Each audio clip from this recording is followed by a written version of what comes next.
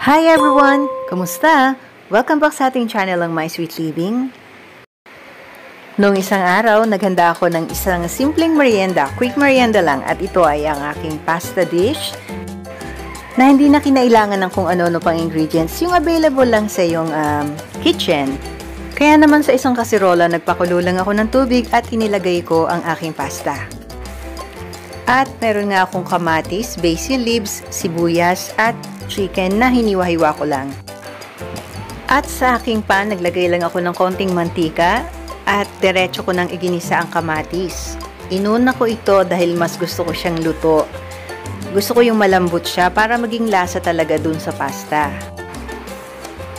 Then hinalo-halo ko lang ito ng konti at nilagay ko na ang aking sibuyas. Ayan, kung mapapansin nyo, walang bawang ano, on purpose po yon.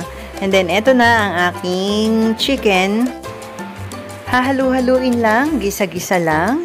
Siyempre, kailangan lutong-luto yung chicken natin.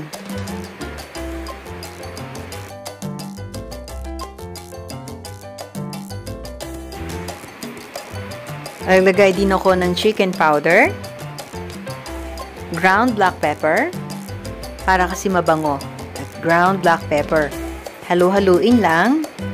Kailangan lutong-luto yung chicken kaya medyo matagal at saka para kumakatas na yung kamatis.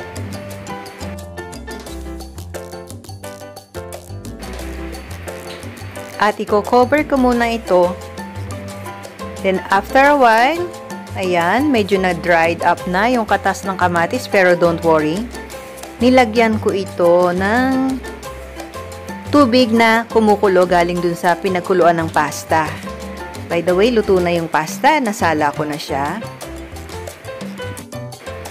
Ayan, ready na ito para sa pasta. Kinover ko lang ng konti at naglagay din ako ng olive oil.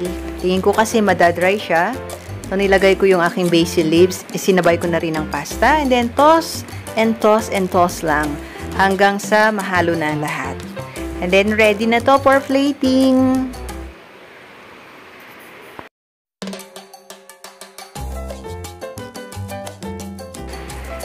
Ayan, ready na ang aking chicken pasta dish. Madali lang lutuin, madali lang gawin. Then, nalagyan ko pa siya ng parmesan cheese and then, syempre, para maganda o, oh, pang picture, yung basil leaves sa ibabaw. Ayan.